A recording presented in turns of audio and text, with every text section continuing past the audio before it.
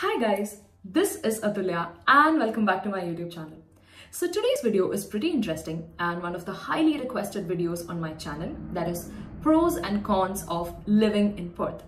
Now before we start, let me just give you a little background about myself. It's been about six months now since we have moved in here. Being an expat comes with its own challenges and I hope that my experiences and my learnings might be of help to someone who is considering to move to Perth or Australia or any other developed nation. So before Perth, I have lived in major cities in India like Mumbai, Chennai, Pune and Kochi. So there might be a little bit of comparison with what I have seen for the past 26 years of my life. That is one. The second thing is Pros and cons are pretty subjective. Something could be a pro to me but a con for you, or a con to me but a pro for you. So take it all with a pinch of salt. So that's about it for the disclaimers. So now let's get started. Pro number one. So the moment you're gonna enter into the city, the very first thing which you'll feel is the city is extremely clean and very well maintained. The parks, the roads, gardens, suburbs, beaches, everything is very clean. You're not gonna see litter anywhere and it definitely makes you feel extremely good. Con number one is Perth is one of the most isolated capital cities in the world. The nearest city within Australia to Perth is Adelaide, which is about 2,700 kilometers. So yeah, not very close. And this is a bad news for all the travel junkies out there who love to go on international vacations because ticket prices are gonna be very expensive and you will have to book way beforehand, plan everything and then go. Bali is one of the closest destinations for international travel if somebody wants to consider and it takes about 4 hours in flight. But the good part is you do have a lot of attractions within the state and I'll definitely make videos on my experiences on these in future. So stay tuned and subscribe to this channel to get to know more. Pro number two is People here are amazing. They are very warm and welcoming. So this is something that I have noticed everywhere, be it my office, shopping centers, gyms, everywhere. People greet you, they ask you, hey, how are you doing? And sometimes that just makes your day. And I believe that this is majorly because of the diversity that is there. So here you'll find people from all across the world. So when you live in such sort of a diverse situation, you automatically become more open minded and more accepting of other communities, other ideas, and overall, you become very warm and welcoming. That's what I have concluded. And this is something which I have noticed back in India as well. So, we believe in Atithi Devo Bhava and we do treat our guests amazingly. But, so if I talk a little about my experience with Mumbai and Kochi, so Mumbai is the place where I did my schooling. In Mumbai, we had, in my school, we had people from all over India. And there was never a South Indian group, North Indian group, or anything of that sort. Whereas in Kochi, we had a lot of Keralites and few North Indians. And of course, because of the language barrier, we did have that sort of a groupism, which is not great. But of course, we did help each other but at the end of the day, we used to find our comfort zone in our own communities. And that was pretty common. So here, since the crowd is already so diverse, I think that part is completely ruled out, which is great. Second con is loneliness. Even though people are amazing, sometimes it takes time for you to connect with them, to have those common interests and common topics to talk about. This is majorly because the situation where you were brought in or brought up or the situation where they were brought up is very different. And sometimes it takes time to get those common grounds. And as an adult, it gets even more difficult to make friends. So there is always a tendency to incline a little towards your own people or your own community. And even after all of that, you do feel lonely sometimes and you feel like going home, meeting your parents, meeting your relatives, and all of that. And thinking about going back to India to meet all of them, you cannot take an overnight decision and just go because like I said, tickets are extremely expensive. You have to plan beforehand. So that is one of the biggest cons that I have. That being said, you do have an amazing Indian community here. We do celebrate all the major festivals and there are suburbs dominated by Indians. So if you anytime plan to come to Perth, it's not going to be very difficult for you because you do have a lot of people from your own community. Pro number three, and I think this is one of my favorites, work culture here is great. So I landed here on a Friday and next Monday was my very first day at work. And I kid you not, people were extremely warm, welcoming. They showed me around the office. They introduced me to different people. It was great. And now it's been about six months uh, of me working in the company. And I have noticed that my manager, my coach, all of them are, they show that concern. They listen to you. They try and understand what kind of work would you like to do. And they make sure that you're not overburdened. Uh, sometimes my manager asks me whether I feel overburdened. Do I have a lot of work to do? Do I need some time to chill? So they value work-life balance a lot, which is great and they make sure that you are having good time to spend with your family as well. And that is something that I really, really love about this place. Con number three is life gets really, really busy here. And within few days, you'll realize that you don't have time for anything.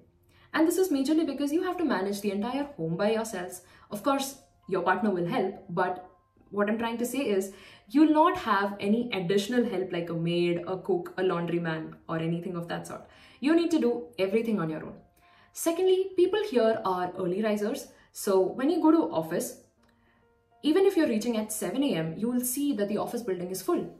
And this is majorly because they like to go to office early so that they can leave early by 3 or 4 p.m. and then go back home and spend time with the family. That's the overall concept. So what essentially happens is uh, you need to get ready quickly in the morning and go to the office. After you come back, you, you'll have to do the dishes, you might have to do the laundry, you might have to clean up the home. So overall, it gets really, really busy. Now, if you're working, plus you have kids, it gets even more busier because here, I haven't seen the concept of school buses or school vans.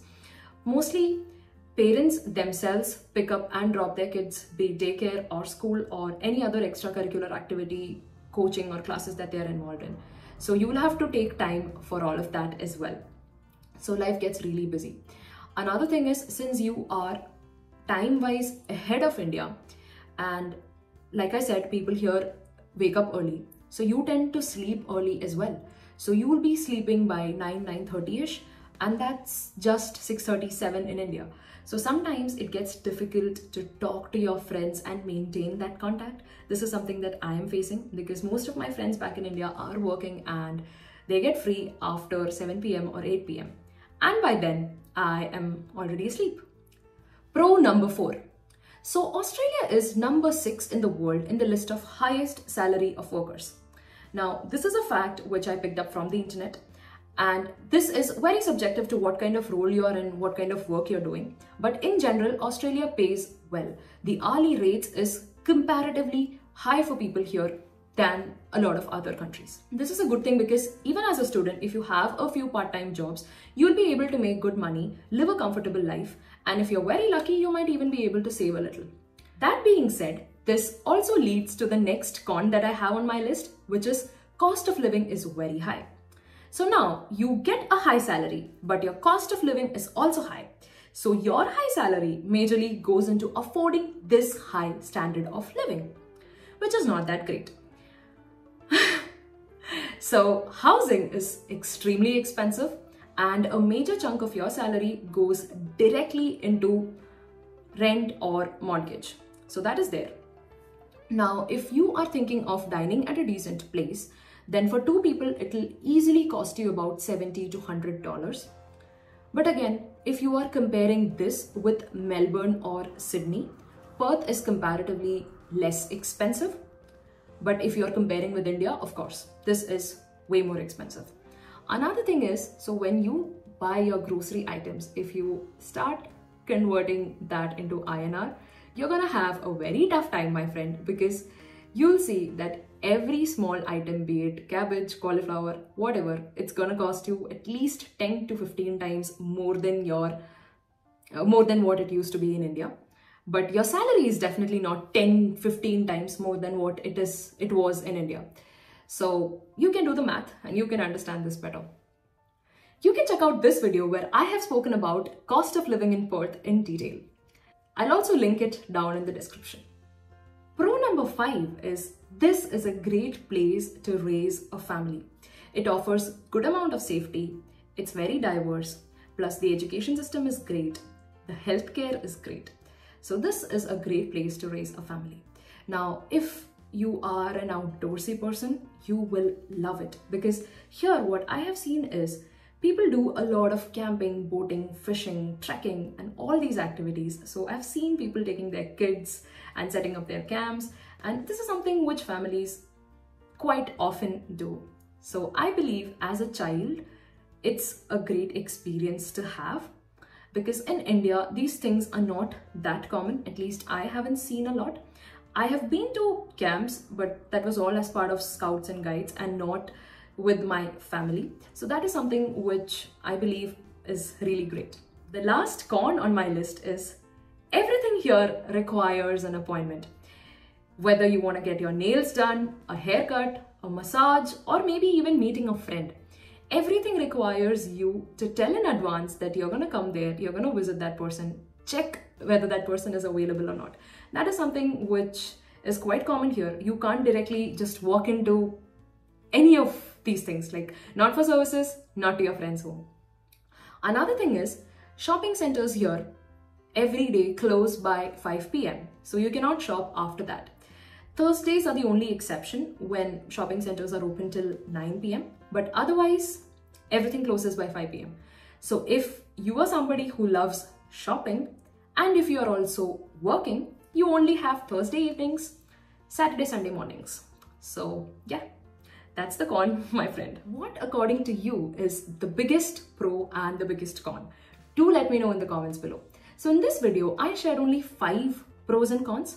And if you would like to know more about the weather here, the visa, education, or getting jobs here, do let me know in the comments below. I'll definitely make a part two of it covering more of that because of course 10 minutes is not enough to cover everything. Don't forget to check out my other videos in this series. I'll link the playlist right here. Now, if you like this sort of content, do hit that thumbs up button and subscribe to this channel for more. I also create videos relating to career growth and getting that desired package, LinkedIn optimization and things like that. Someday I'll also share how did I land up with a job here. So check out that playlist here. Thank you so much for watching this video till the end. This is me, Athulya Nair, signing off. Ciao! So when you live in such, such